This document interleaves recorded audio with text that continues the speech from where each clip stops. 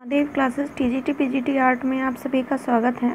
आप सभी साथियों को मेरा नमस्कार। आज मैं हूँ हमारे इसकी वेटिंग लिस्ट के बारे में बताने जा रही हूँ। तो आप सभी से अनुरोध है कि प्लीज़ मेरे चैनल को लाइक एंड सब्सक्राइब करिए तथा दोस्तों के साथ शेयर भी कीजिएगा।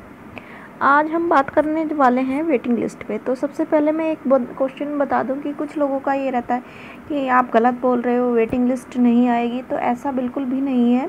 तो वो जो लोग ये बोलते हैं कि वेटिंग लिस्ट नहीं आएगी तो वो जाके इसके जो नोटिफिकेशन जो था, जब ये फॉर्म फिलअप हुए थे, वहाँ पर जाकर वो देख सकते हैं कि वहाँ पर स्पष्ट रूप से लिखा है कि दस परसेंट जो है, वो आपकी जो है, वो किससे जो है वेटिंग लिस्ट इसकी आएगी। दस परसेंट यानी किसी सब्जेक्ट में सौ सीटें हैं तो उसमें से दस सीट सीट पर जो है आपकी वेटिंग लिस्ट आनी है। यानी या किसी में पाँच सौ है तो उसमें से पचास की वेटिंग लिस्ट आनी निश्चित है।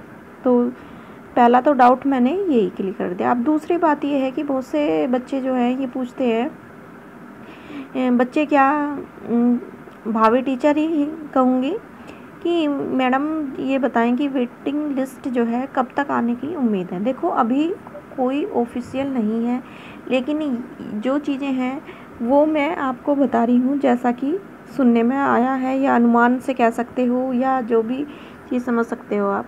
तो ऐसा बताया, ऐसा है कि आपका अभी तो ज्वाइनिंग का प्रोसेस चल रहा है। ज्वाइनिंग के बाद जो है फिर कुछ टाइम भी दिया है इन्होंने। तो लगभग आपका अगस्त तो इसी में पूरा निकल ही जाएगा आपका। जुलाई चल ही रहा है, अगस्त भी निकल जाएगा। तथा सितंबर में जो है ये वेटिंग लिस्ट पे कुछ कार्य करना शुरू करेंगे। जिस तरह से अब जो है अगर जो है, ये ये हमारे सोसाइटी जो है एक्टिव रही। तो उम्मीद जताई जा रही है कि आपकी जो वेटिंग लिस्ट है, वो सितंबर के लास्ट में या अक्टूबर में आ जाएगी।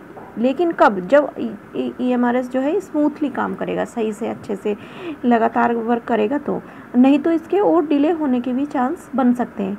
लेकिन अगर सही तरह चांस काम किया तो अगर आप ये मान के चलो सितंबर अक्टूबर में आ जाएगी और अगर धीरे से किया और देना चाहता है तो नवंबर दिसंबर में आ जानी चाहिए। तक आ जाने की पक्की उम्मीद जताई जा रही है। देखो, और सब कुछ जो है वो टाइम के ऊपर है, क्या होता है?